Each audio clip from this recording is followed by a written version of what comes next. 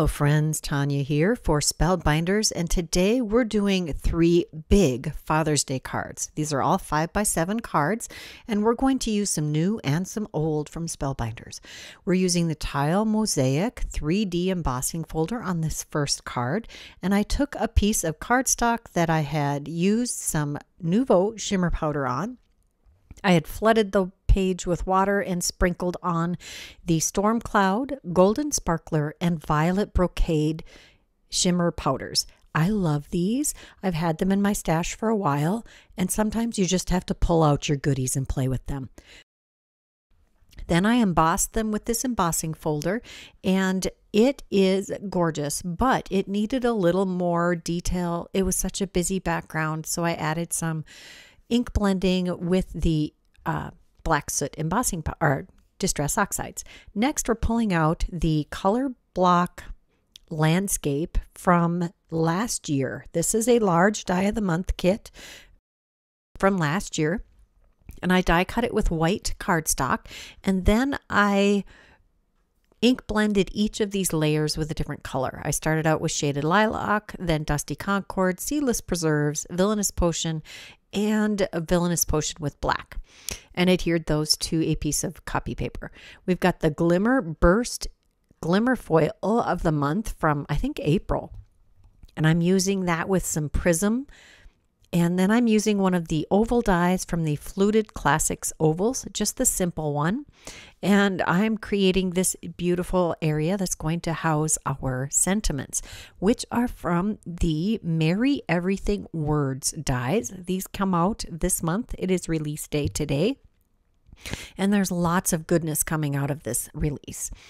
Then I take a piece of black cardstock that measures, I think it's four and three quarters by seven inches. It's going to cover from top to bottom on this card base, which is a five by seven card base. Just going to line that up so that it has a white portion peeking out on each side.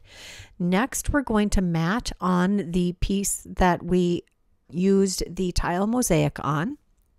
Now, I did trim this down. I was thinking it was going to be a four and a half by six and a half inch piece, and I had to trim it down to get the line straight because I did not line this up very well in my embossing folder when I created it. So, if you're going to do that, make sure that you line things up carefully with these very geometric styles so that it's nice and straight, unless you're looking for crooked. I did put my MISTI on top of this to give it a little extra weight to help it adhere and to cover or to even out the height of our layer here. I'm taking a piece of Coaster Blank, inking it with the Distress Oxide ink blender. I do have an ink blender for each color. It's just something I chose to do. It took me years to come to that decision, but I don't regret it at all. We're going to take that landscape piece and we're going to lay it over the top of our embossed piece to create this beautiful landscape with a gorgeous night sky. That's what this looks like to me. I just love this. I know, I don't know about you, but I spent a lot of time camping with my family as a child and I really enjoyed it. There's some of my best memories with my parents are camping. And I really wanted to pull that feeling into this card. That's one of the things that I like to celebrate with my dad the fact that he taught me all of these wonderful things to do with the outdoors and how to camp comfortably and quickly and inexpensively, and just the joys of exploring even your local area, going to your local campgrounds, local meaning within your state within a couple hours. You don't have to go very far to enjoy a good vacation. I'm taking each of these sentiments and carefully adhering them to this background. I did die cut them from some silver mirror cardstock, which you can get in the Spellbinders shop. It's gorgeous. It's super pliable. Love it. It adds all the dimension you don't you need. You, I never layer these because they are so gorgeous on their own. Next, I'm taking the Precision Layering A2 size, and this is the A. And I just took one of the larger ones and die cut a mask. Now, you could have done this, uh, uh, it could be done a whole lot easier with some masking paper. If you die cut all of these pieces from some masking paper, you wouldn't have to be so fiddly. I chose to do this the hardest way possible, apparently, but it does work. I did only get ink in the wrong spot in one spot, and it doesn't affect things overall. I'm just taking each of these pieces, puzzling them in to create um, mask for each area, and I'm ink blending them with the same colors that I did on the front. I want them to be soft and subtle and just to carry the design through to the inside of the card. Now, the big rectangular mask helps keep this all just in one area on the inside of the card. And I do end up pulling in the negative piece from die cutting this these white sections to add color to that very top layer. Instead of adding black soot with the villainous potion on this darkest piece, I use the hickory smoke. I didn't want it as dark and black soot is going to instantly make it very dark. Now the big reveal, I'll pull off pull off the masking tape and there we have our landscape. It looks a little smudgy here, but in the long run it looks fantastic. Now I'm pulling one of my older stamp sets. This is from Papertrey Ink. It's called Father Knows Best. It has lots of great inspiring uh, sentiments for the insides of cards. These are all geared towards someone that you look up to, someone that's helped you in, in growing up or mentoring you in a job or a difficult part of your life. It doesn't have to be a, a man, but it works great for Father's Day. Then I wanted to pull in some star embellishments. So I pulled out the glowing sky embellishments from Trinity Stamps. They have two sizes of stars in there. And that was card number one. Card number two is Leafy Sprig themed. Well, actually, we're using Leafy Sprig, which is part of the new release, and a piece of watercolor paper that I've used the Golden Sparkler Shimmer powder with, and we're die cutting two of the large sprigs from that. Next, I have a four and a half by six and a half piece of white cardstock that I am going to ink blend with Pumice Stone Distress Oxide ink. It's a great neutral gray and it's light. It works with warm and cool tones, which is it, like it's the most perfect gray. You can make it darker by ink blending heavier or just going kind of light. And I did leave um, the upper portion a bit lighter. Next, I'm taking some of the glimmer ink from Hero Arts in gold and I'm spattering the background. I wanted to pull that in. We're going to use a scrap of that tile mosaic piece from the first card on this card. I do use my MISTI again as a heavyweight block. Next, we are going to pull in the um, Happy Parents Day Glimmer and Die set. It has Happy Father's Day and a banner die that cuts it out. And we're also using the banner die from the Merry Everything Words die set. And we're going to use that to create a framework or a highlight spot for our main sentiment, which is Glimmer Hot foiled with the gold foil on black cardstock. This is the Spellbinders cardstock because I've had the best luck with Glimmer Hot foiling on their colored cardstock. Just going to center that on our banner and then use a T-square ruler to make sure it's all nicely lined up. I do want to make sure that this is a very, since this has a lot of geometric components to it. I want to make sure everything is well aligned. And I want to cover one end of that banner with our piece that's left over from that tile mosaic piece from the previous card all of these cards are going to kind of build on each other. There will be components that we carry from one card to the next. Sometimes when you're creating, it's nice to make things in a set. They don't have to all be the same design. They don't even have to be the same color scheme. Although when I do a video, I try to make things fairly color coordinated. I feel like it just makes the video look better if my things are color coordinated. At least coordinate in the same um, color range. They don't have to be exactly the same color. Next, we're taking our sprigs and we're going to adhere those down. I did add a little bit of glue to a, a few of the the leaves and then a line of light line of glue down the stem. I just adore the color mix on these golden leaves. They don't have to look fall-ish. I think they just like look like golden laurels. You know, the uh, way that the ancient Romans um, symbolized honoring someone. That was my feeling here. And I'm adding a scattering of the individual leaves that come in this die set also. These individual leaf dies each match one on the sprig. So that if you wanted to make different colored leaves, you could easily do that and make and layer them on top of the sprig. That adds a little extra dimension too. And the die cuts actually cut the stem veins in, or the, excuse me, the leaf veining into them, and that creates some dimension all by itself. Next, we're pulling in the peach opalescent sequins. These just came out. There's several different colors and they're gorgeous. They aren't just one color. With that opalescent, they will match lots of things on either side of that peach color, yellow, red, orange they um, will have a little bit of a ch color changing quality to them. And I think they are just perfect. They're a nice, lightweight, easy to apply uh, embellishment. And don't let yourself think that men don't like shimmer. Have you ever seen the paint jobs on their toys, their boats, their RV, or excuse me, not RVs, their trucks, their ATVs? All of it has super sparkly things. So, yes, they like sparkles too. We're going to add a few more leaves on the inside of this card to frame up the sentiment, which is again from that Papertrey Ink sentiment set, the Father knows, be- Father knows best. And go through your stash. Use what you have. Just because it's not brand new doesn't mean you can't use it. And I think we need to be a little better about using what's in our stash to combine it with the new things that we add. I love to combine things. I'm going to try to do that more. And that is card number two.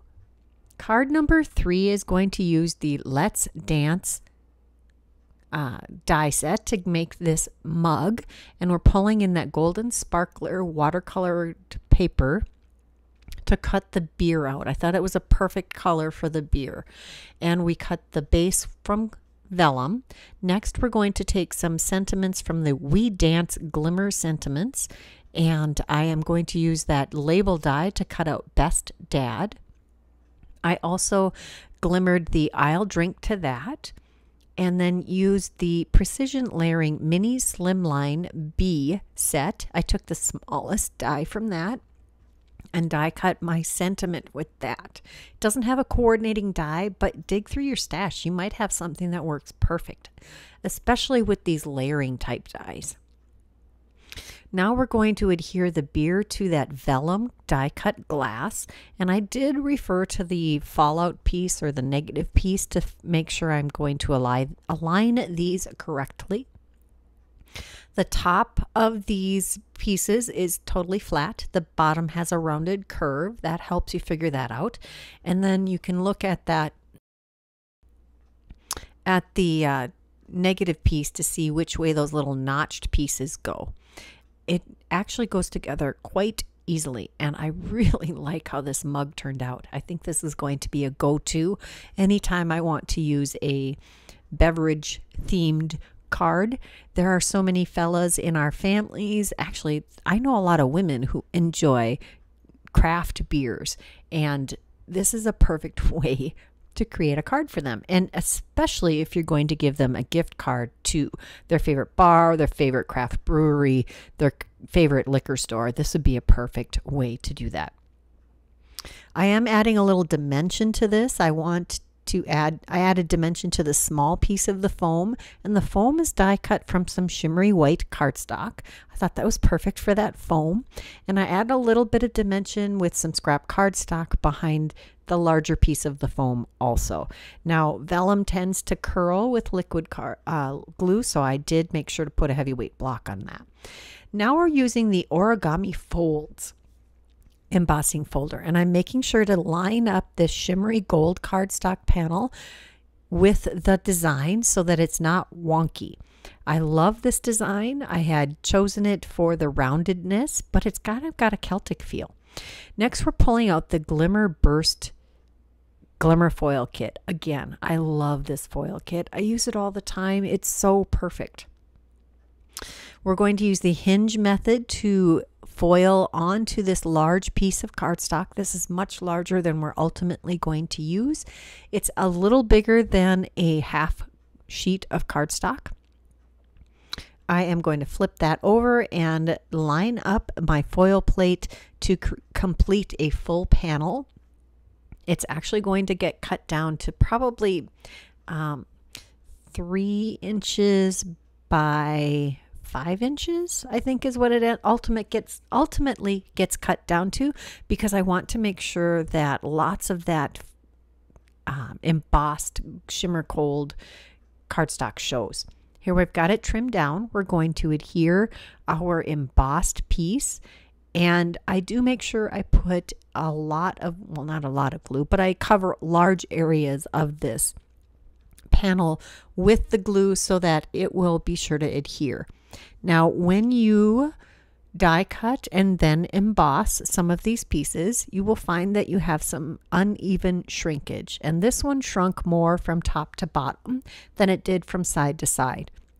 And I'll fix that by just trimming a little bit off of the top and bottom of my card base when it's all done.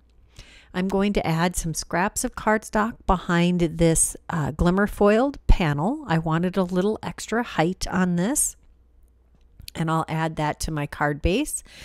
Just going to add some glue behind that and use the MISTI again to add a little extra weight so it will adhere well. We're going to pull out the glimmer set again and die cut the sun shape and the circle. The circle is die cut out of some plain white cardstock and the sun is from some shimmery gold cardstock. I need to add that label to the front of that cup and then we will start adhering things together. I do decide I need a little bit of color behind that mug, so I took my yellow blending brush and I just add a little bit of yellow in the middle of that, whatever yellow was left on my brush. Now what's we're going to adhere the circle directly to the gold shimmer uh, paper and then we're going to add a little bit of dimension behind that sun shape with some uh, with a scrap of cardstock. I'm just going to cut a square and then trim off. Oh no, that's not cardstock. That's coaster blank. I guess I wanted a little extra dimension. Just going to trim the corners off of the square so that nothing sticks out behind our die. Then we'll center that right in the middle of that glimmer burst. And we'll take our Stein, which I've added a little bit of extra weight, or excuse me, height behind with scraps of cardstock die cut with the same dies and adhered behind it. And Coaster Blank behind our sentiment to make it the same height as our main featured element and adhere that to the front, making sure that's nice and straight. Here comes the T-roller again. I've been using that a lot lately. I'm finding that I just want to double check my by lining up. The We Dance we all dance sentiments comes in a glimmer and a stamp set. So if you don't glimmer, you can get the stamp set. If you want both, you can get both. And clearly, I wanted both. Sometimes you just want more options. I'm stamping that inside the card with some VersaFine Clair Nocturne ink which is my favorite for black sentiments. And then the last piece, we're going to add some of those pearl opalescent color essential sequins. There are, I think, six colors of these color essential sequins, and they have this beautiful iridescent quality to them. And I'm going to add, or add a scattering above and below our main sentiment. I love how these kinds of embellishments really carry your eye across the card. And that is my third card. That's all three cards. I hope you enjoyed this video. If you did, please give it a thumbs up. If you want to leave me a comment, I would love to hear which of these cards you like the most. Hey, did you notice those are glow in the dark stars? If you would like to see more of a particular technique, I'd love to hear that. And if you aren't subscribed to this channel, now would be a perfect time. If you're interested in any of the products I use today, they will be in a list in the description box below. And there are a couple of videos here I thought you might enjoy. Until next time, bye bye.